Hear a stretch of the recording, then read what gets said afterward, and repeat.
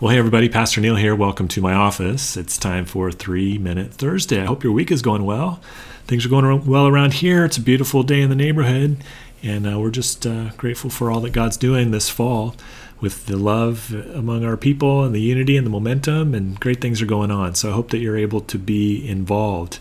Last Sunday night, we had a great membership meeting, and I just wanted to say thank you to all the people that came and for the people that served. I mean, there were people that literally served. They served pie, and it was fantastic. And uh, the unity in the heart and um, the momentum that we have these days, it was really on display Sunday night. If by chance you were not able to come, love for you to get up to speed and hear what was talked about. If you go over to info.norkenzie.net, uh, there is a link there for some of the meeting notes and also an audio recording if you wanted to listen to uh, what was said. It's about an hour long. So if you have time and the uh, desire to do that, go go over to info.norkenzie.net and uh, that'd be great. Uh, this Saturday is our day of prayer, and encourage uh, encourage you to take a half an hour or an hour to pray. If you'd like to sign up on beyond the schedule as we cover those 24 hours in prayer, just uh, reach out to me, and I can let you know which times are still available.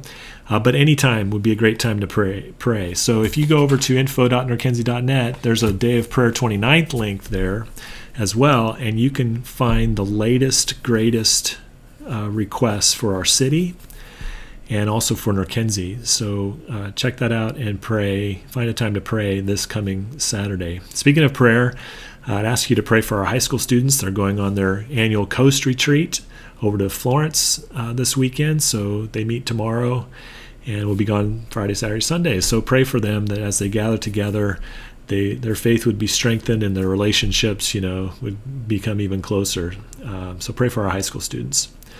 Uh, lastly, I'd say that uh, it's going into the last quarter of the year. It's a good time. October is a good time to kind of take uh, our blessed survey. If you've done this in the past, you know it takes about 45 seconds to do this.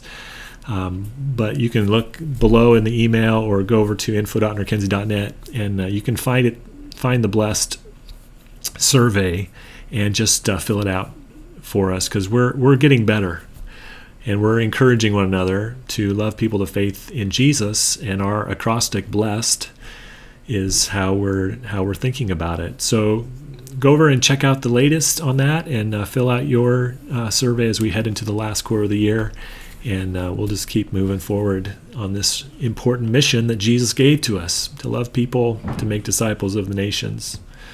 So, have a great uh, end of your week, and we'll look forward to seeing you on Sunday as we continue the End Times series. We're going to talk about the second coming of Jesus again, uh, kind of a part two from last week. So, if you were here last week, or even if you weren't, uh, Sunday's a great time to come and be with the family at Norkenzie. Thanks, everybody.